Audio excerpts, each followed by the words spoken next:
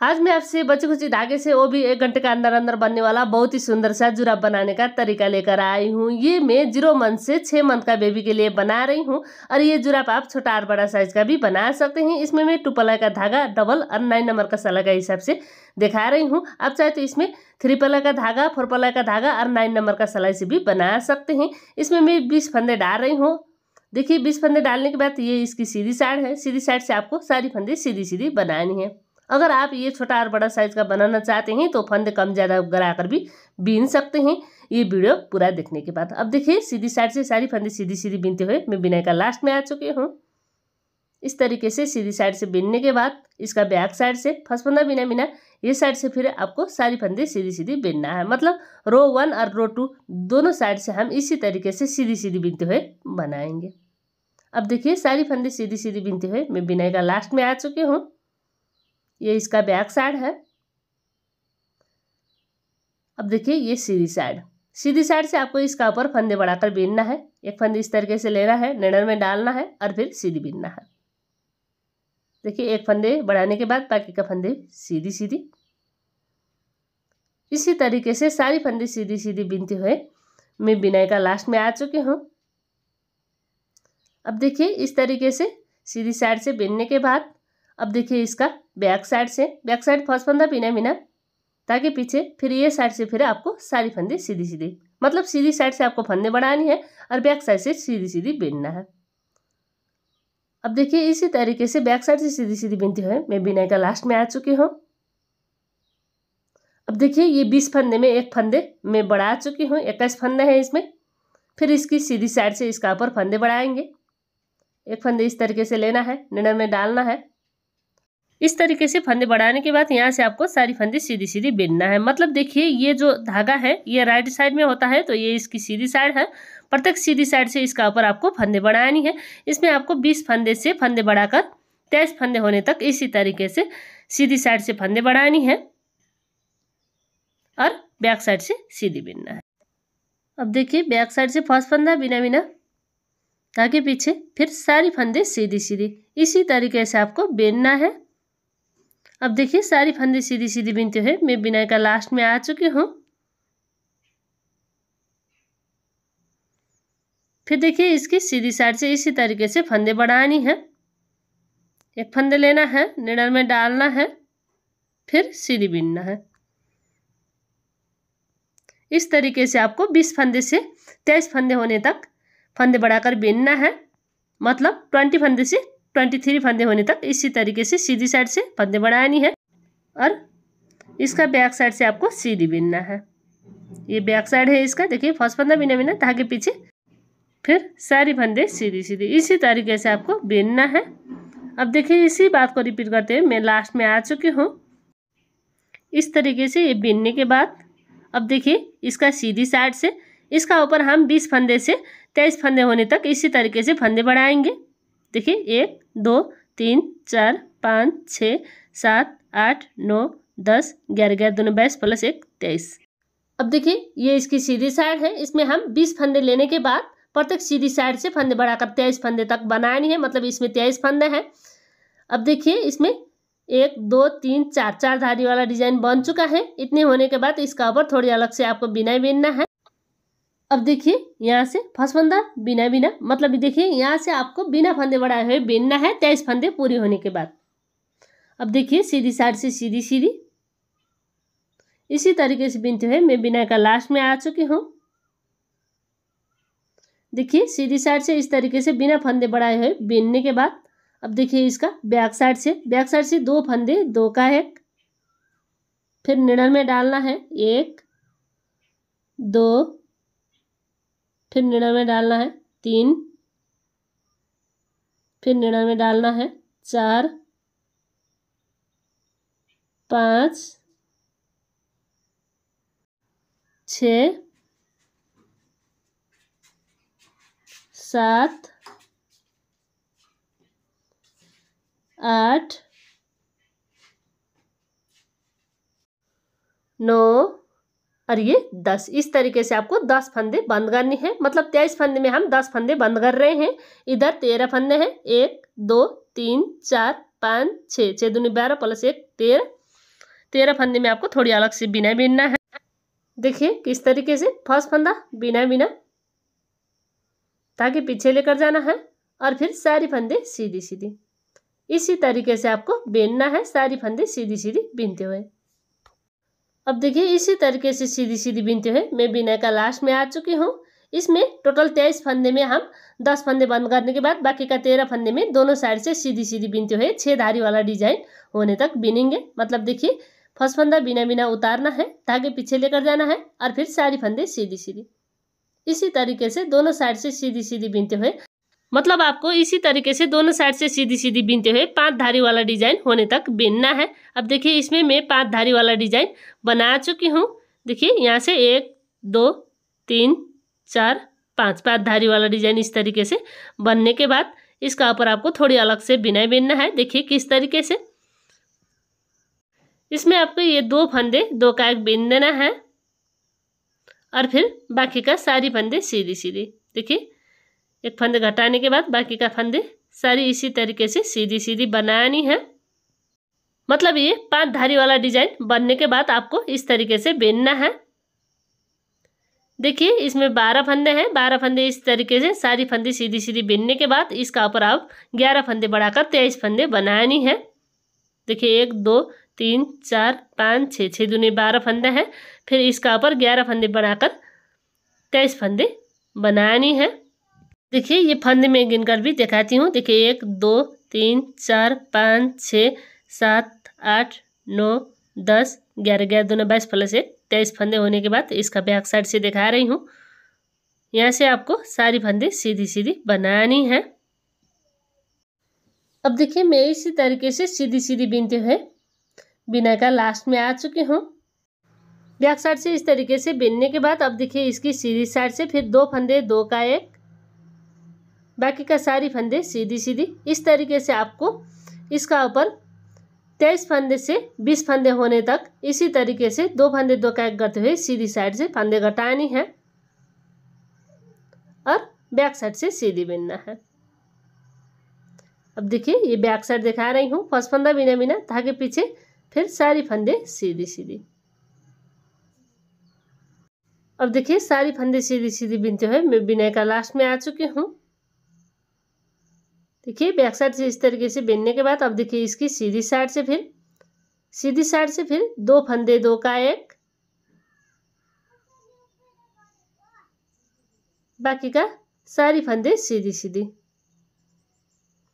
मतलब सीधी साइड से फंदे घटाकर आपको तेईस फंदे से बीस फंदे होने तक बेनना है। देखिए, एक, दो, तीन, चार, पाँच, छ, सात, आठ, नौ, दस दस दूनी बीस फंदे होने तक इस तरीके से बेनना है। फिर इतनी होने के बाद देखिए फ़र्स्ट फंदा, बिना बिना, और फिर यहाँ से आपको सारी फंदे सीधी सीधी इस तरीके से आपको बनानी है। अब देखिए सारी फंदे सीधी सीधी बिनते हुए मैं बिना का लास्ट में आ चुकी हूँ।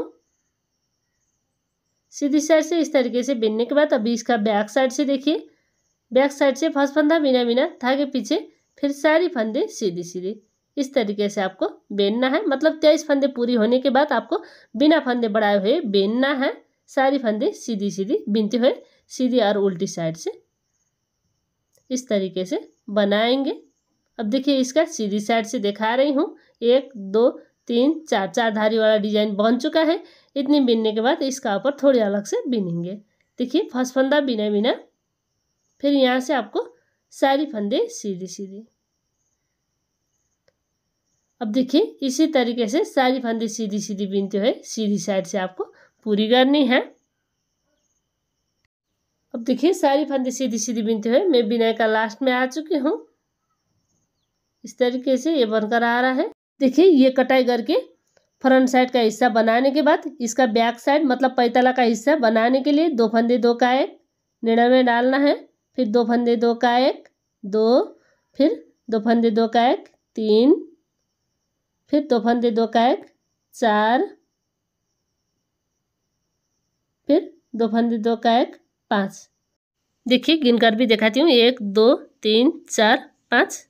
पाँच फंदे बंद करने के बाद देखिए, एक, दो, तीन, चार, पाँच, छः, सात। सात दूनी चौदह प्लस एक, पंद्रह फंदे इस तरीके से बाकी हैं। इसमें आप देखिए, फ़र्स्ट फंदा बिना बिना, धागे पीछे। फिर यहाँ से आपको सारी फंदे सीधी सीधी बिनना है। मतलब आपको पंद्रह फंदे में दोनों साइड से सीधी सीधी बिनते हुए बनानी है। अब देखिए, इस तरीके से सीधी साइड से बिनने के बाद, अब देखिए इसका बैक साइड से फिर, फ़र्स्ट फंदा बिना बिना, ताकि पीछे फिर सारी फंदे सीधी सीधी। अब देखिए इसी तरीके से सीधी सीधी बिनते हुए मैं बिना का लास्ट में आ चुकी हूँ। अब देखिए इसका बैक साइड से फिर बैक साइड से फ़र्स्ट फंदा बिना बिना धागे पीछे सारी फंदे सीधी सीधी। अब देखिए, इसी तरीके से इसी बात को रिपीट करते हुए आपको दोनों साइड से सीधी सीधी बिनते हुए इसका ऊपर बनानी है। देखिए फिर, मैं बिन कर भी दिखाती हूँ फ़र्स्ट फंदा बिना बिना और फिर यहाँ से आपको सारी फंदे सीधी सीधी अब देखिए, मैं बिना का लास्ट में आ चुकी हूँ। इस तरीके से सीधी साइड से सीधी और बैक साइड से उल्टी बिनते हुए इसका ऊपर आपको तीन धारी वाला डिज़ाइन होने तक बिनना है। अभी मैं इसका बैक साइड दिखा रही हूँ। अब देखिए इसी तरीके से इसी बात को रिपीट करते हुए इसका ऊपर मैं ये तीन धारी वाला डिज़ाइन पूरा कर चुकी हूँ, मैं गिन कर भी दिखाती हूँ। तो देखिए, एक, दो, तीन तीन धारी वाला डिज़ाइन इस तरीके से बनने के बाद इसका ऊपर आपको थोड़ी अलग से बिनाई बिनना है। अब देखिए किस तरीके से। इसमें आपको पंद्रह फंदे से बीस फंदे बनानी है। किनारा का दोनों फंदे में फंदे बढ़ाकर। देखिए इस तरीके से एक फंदे बढ़ाएँगे, फिर बाकी का सारी फंदे सीधी सीधी अब देखिए इसी तरीके से सारी फंदे सीधी सीधी बिनते हुए मैं बिनाई का लास्ट में आ चुकी हूँ। ये मैं आपको सीधी साइड से दिखा रही हूँ। सीधी साइड से इस तरीके से फंदे बढ़ाने के बाद। अब देखिए इसका बैक साइड से फिर फ़र्स्ट वाले फंदे में आपको फंदे बढ़ानी है। देखिए इस तरीके से सीधी बिनना है, फिर निर्णय में डालना है और फिर सीधी बिनाई इसी तरीके से पंद्रह फंदे से आपको बीस फंदे होने तक इसी बात को रिपीट करनी है। सीधी और उल्टी साइड का किनारे का फंदे में आपको फंदे बढ़ानी है। इतनी सी बात है बार बार आपको रिपीट करते हुए पंद्रह फंदे से बीस फंदे तक बढ़ानी है। मतलब देखिए, इसमें आपको ये फ़र्स्ट वाले फंदे में आपको फंदे बढ़ानी है, एक फंदे बिनना है, फिर निर्णय में चढ़ा देना है। अब देखिए, हम इसमें तीन फंदे बढ़ा चुके हैं, बाकी का सारी फंदे फिर सीधी सीधी बनाएँगे। अब देखिए, सारी फंदे सीधी सीधी बिनते हुए मैं बिनाई का लास्ट में आ चुकी हूँ।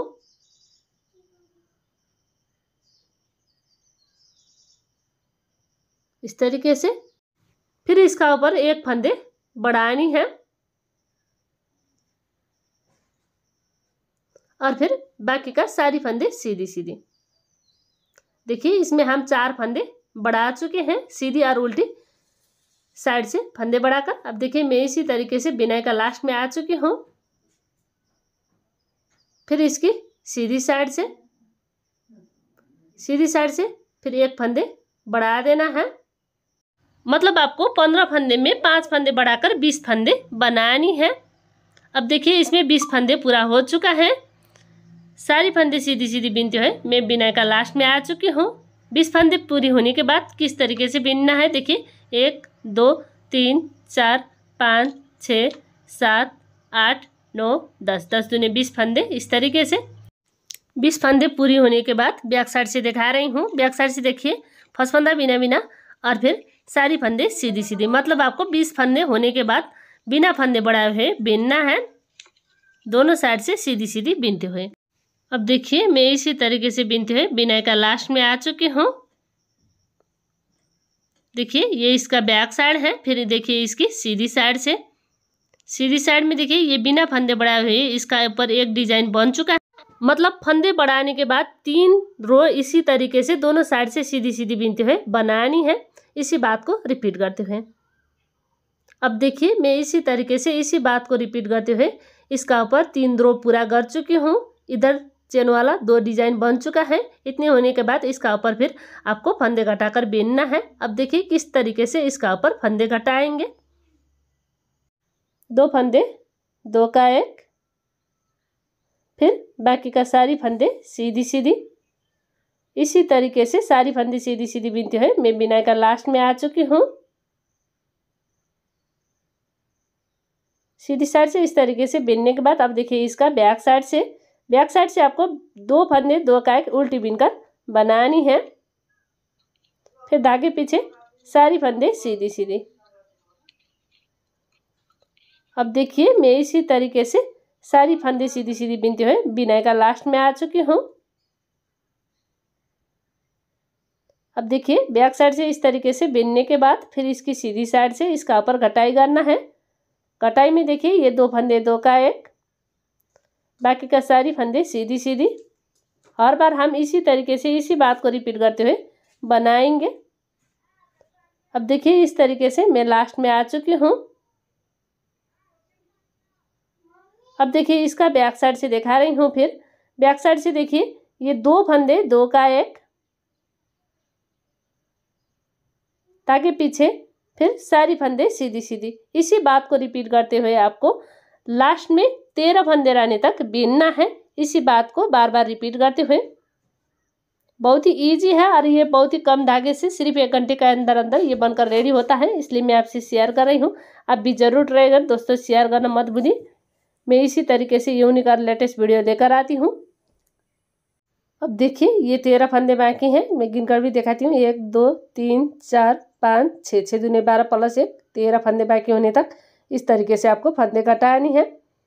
देखिए डिज़ाइन, एक, दो, तीन, चार, पाँच, छः, सात, आठ, नौ, दस, ग्यारह, बारह, तेरह तेरह डिज़ाइन, ये धारी वाला डिज़ाइन होने के बाद इसका बैक साइड से दो फंदे, दो का एक निर्णय में डालना है, फिर दो फंदे, दो का एक, फिर निर्णय में डालना है, फिर दो फंदे, दो का एक, इसी तरीके से आपको इसका ऊपर का फंदे बंद करनी है। देखिए, फंदे बंद करते हुए मैं लास्ट में आ चुकी हूँ। थोड़ा खींचना है और ये धागा कट करके आपको लक लगा देना है। अब देखिए, ये बहुत ही सुंदर जुराब बनकर आ चुका है। बाएँ और दाएँ पैर का एक ही तरीके से आपको बनानी है। अब देखिए, इसका ऊपर सिलाई किस तरीके से करना है और इसका ऊपर डोरी किस तरीके से लगानी है, मैं इसका ऊपर दिखा रही हूँ। अब देखिए, ये उल्टा साइड है। अब देखिए इसमें आपको सीधी अंदर बनाते हुए और उल्टी बाहर कराते हुए सिलाई करना है ये साइड से। इसमें आपको दोनों साइड का एक एक चेन लेते हुए सिलाई करना है। इस तरीके से लेना है और इधर लक लगाएँगे। और इसका ऊपर आपको दोनों साइड का एक एक चेन लेते हुए सिलना है। तो देखिए मैं इसी तरीके से दोनों साइड का एक एक चेन लेते हुए सिलाई करती हूँ। यह आपको यहाँ तक सिलाई करने के बाद एक दो बार इधर साइड लॉक लगा देना है। इस तरीके से लॉक लगाएँगे। आप चाहे तो इसका ऊपर एक दो बार लॉक लगाकर ये धागा कट कर सकते हैं। तो देखिए, ये मैं धागा लक लगा रही हूँ। और ये आपको फोल्ड कर लेना है। ये इसका बैक साइड है, मैं आपको बता चुकी हूँ। यहाँ से लेकर यहाँ तक आपको सिलाई करना है। बैक साइड से देखिए, इस तरीके से मिलाते हुए सिलाई करना है, यहाँ से यहाँ तक। तो देखिए, इसमें आपको दोनों साइड का एक एक चेन लेते हुए सिलाई करना है। मैं इसका ऊपर सिलाई करती हूँ। आप भी इसी तरीके से इसी बात को रिपीट करते हुए सिलाई करिएगा। अब देखिए, ये मैं सिलाई कर चुकी हूँ। इस तरीके से एक दो बार आपको लॉक लगानी है सिलाई करने के बाद। इस तरीके से लेना है। अब देखिए, ये बहुत ही सुंदर बनकर आ चुका है। इसका ऊपर हम डोरी लगाएँगे। ये आपको एक बार ऊपर, एक बार नीचे गराते हुए कुरी से डालना है। अब देखिए, इस तरीके से डालने के बाद इसको खींचना है। देखिए, दूसरा साइड का भी इसी तरीके से डोरी लगाएँगे। अब देखिए, ये जुराब बनकर रेडी हो चुका है। आज का ये जुराब बनाने का तरीका आपको कैसा लगा कमेंट करके ज़रूर बताइए। पसंद आए तो वीडियो को लाइक कीजिए, दोस्तों शेयर करना मत भूलिए। मैं इसी तरीके से यूनिक और लेटेस्ट वीडियो लेकर आती हूँ। दीपा नेटिंग चैनल में अभी तक नहीं हो तो चैनल सब्सक्राइब करिएगा। धन्यवाद।